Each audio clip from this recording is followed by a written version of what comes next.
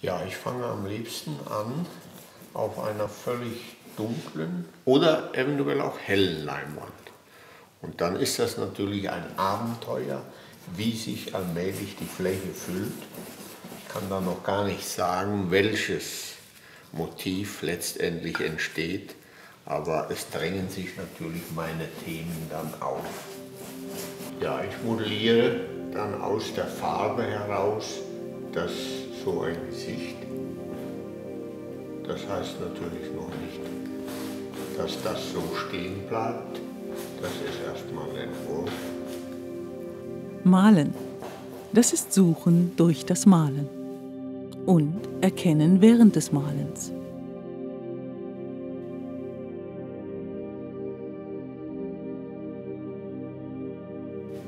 Es kann lange dauern, bis Titus Lerner eines seiner Bilder als fertig erkennt.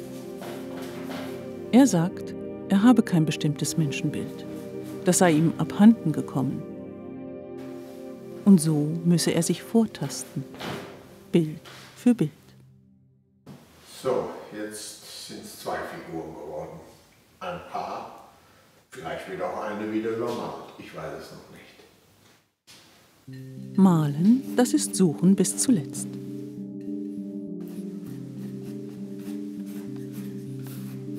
Wenigstens das Thema ist klar für Titus Lerner. Aber es ist ja auch wirklich groß genug. Der Kosmosmensch, das bedeutet für mich die Vielfalt der Möglichkeiten wahrzunehmen. Das heißt, die Abgründe natürlich, aber auch die Möglichkeit, sich zu verändern, sich zu erheben in andere Dimensionen der Kosmos Mensch. Das meint den einzelnen Menschen und der ist meist allein und nackt und oft verloren in seinem Kosmos.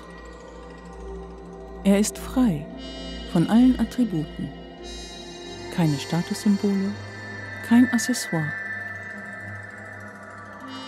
Auf sich allein gestellt macht er sich auf, getrieben von den immer gleichen Fragen.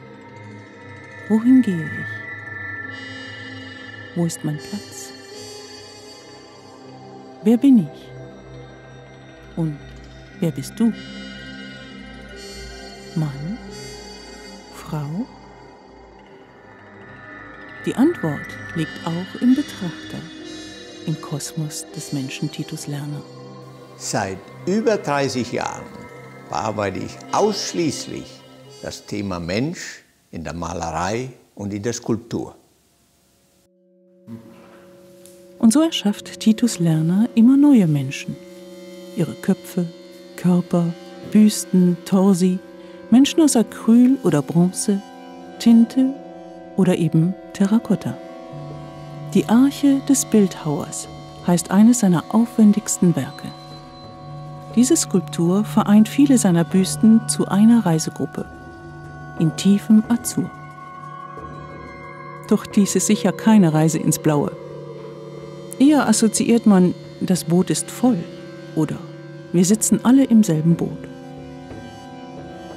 Titus Lerner schickt den Betrachter seiner Werke gerne auf eine Expedition in ungewisse Welten.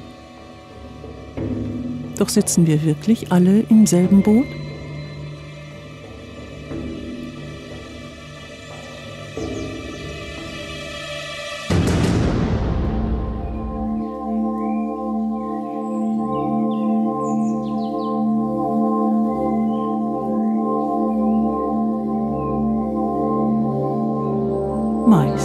Er allein im Boot, der Mensch. Der Mensch im Boot, das ist ein Motiv, das ich jetzt schon seit Jahrzehnten immer wieder aufs Neue angehe. Äh, es symbolisiert für mich nicht nur meine eigene enge Beziehung zur Natur. Ich bin gerne auf dem Wasser, im Wasser und mit den Elementen äh, vertraut, sondern es ist auch ein Versuch, die philosophische Suche fortzusetzen. Wie komme ich durch das Leben, wie umschiffe ich Gefahren, was trägt mich über die Tiefen. Die Tiefen und die Tiefe des Titus Lerner.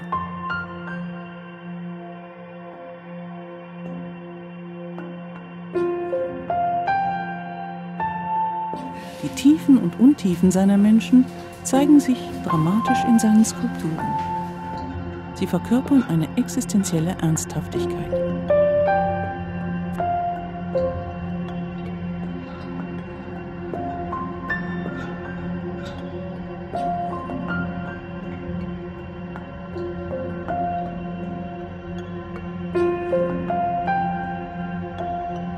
Von Spaßgesellschaft keine Spur im Kosmos des Menschen Titus Lerner.